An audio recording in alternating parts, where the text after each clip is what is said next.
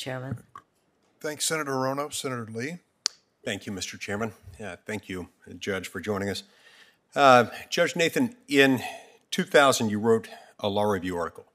And in that law review article, you wrote, quote, nearly all federal and state courts agree that the Second Amendment does not guarantee an individual private right to bear arms unrelated to the state's right to maintain a militia. In, in light of um, the uh, Supreme Court's ruling in Heller, do you want to recant that statement or?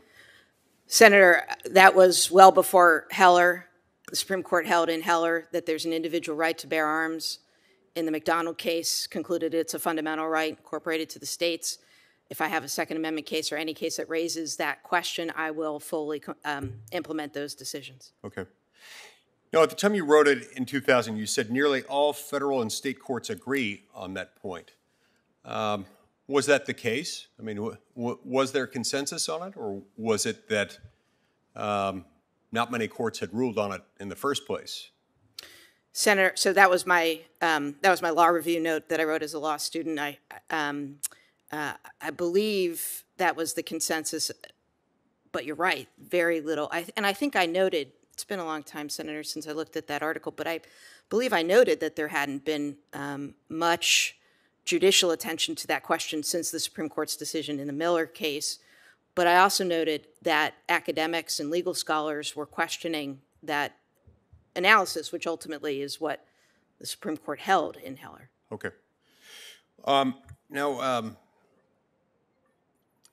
I want to talk to you a little bit about your 2019 Everytown decision. Uh, when you seem to have disregarded the Supreme Court's uh, decision in Tennessee Wine and Spirits Retailers Association versus Thomas. Um, and in that case, uh, the, the, Supreme Court had, of course, established the rule that, it, that, that a later adopted provision takes precedence over an earlier conflicting provision of equal stature. Um, do you regard yourself as having departed from that? Senator, um, the only issue raised by the ATF in that case, uh, the Second Circuit said actually that I got right. It was what ATF had argued was that the prior provisions hadn't been impliedly repealed by complete revision. Um, Second Circuit said I got that right. It ex- says expressly it exercises its discretion to hear an argument that ATF hadn't made below, and it was on that basis that it reversed. I like to hope and think I would have gotten it right had it been raised before me, but it, but it wasn't. You know, Judge Menashi, writing for the Second Circuit, um, reversed your grant of summary judgment in, in Everytown. Yeah. Um, and um, and and did so based on clearly established precedent. So uh, why didn't you rely on Supreme Court precedent in that case?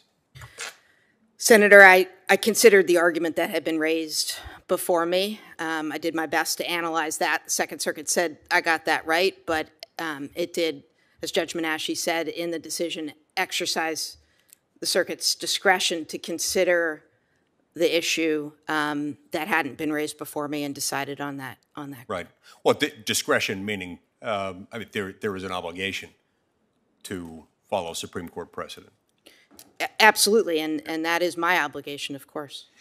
Um, Tell me about your approach to reading statutes. How do you go about the, the task of statutory construction?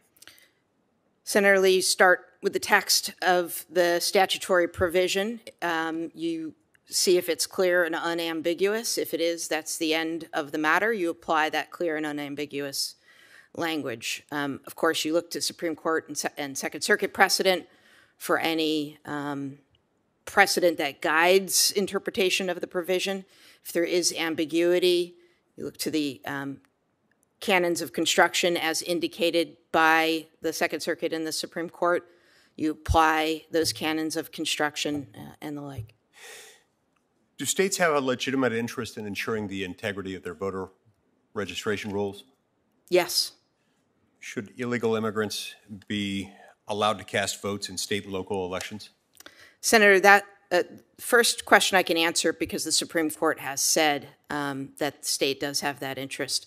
On the next question, um, that is an issue, that's a policy question that would be inappropriate for me as a, as a sitting court judge or nominated the Second Circuit to weigh in on. I can assure you, if I have litigation that raises that question, I will consider carefully any relevant Supreme Court and Second Circuit precedent and apply, apply it faithfully. Does a state or a local government have a constitutional, um, uh, a, a source of authority upon which to decide to either, um, does a, does a state have constitutional authority to decide to limit the voting franchise to legal citizens?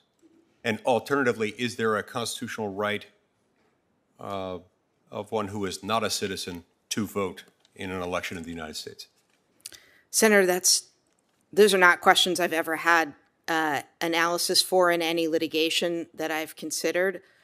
If it were to come before me, I can assure you I would follow the Constitution, Supreme Court and Second Circuit precedent, and, uh, and reach a conclusion as mandated by that authority. I see my time's expired. Thank you. Thank you, Senator. Thanks, Senator Lee. Senator Blackburn. Thank you, Mr. Chairman, and uh, Judge, thank you for your time. Um,